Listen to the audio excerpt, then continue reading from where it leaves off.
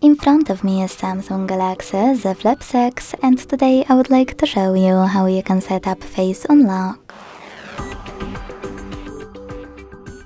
Begin by opening settings and scrolling down to access security and privacy. Then scroll down again to find biometrics Select face recognition and finally enter your current screen lock. Then hit continue. Keep your face in frame and follow all of the instructions from your screen.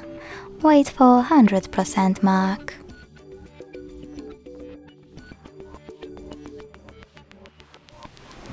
Finally, you can adjust all of those options however you want to and go back.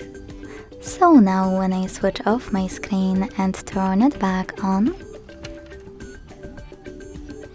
I can see that Face Unlock is working properly. Thanks so much for watching. If you enjoyed this video, don't forget to leave a like, comment and subscribe. Bye!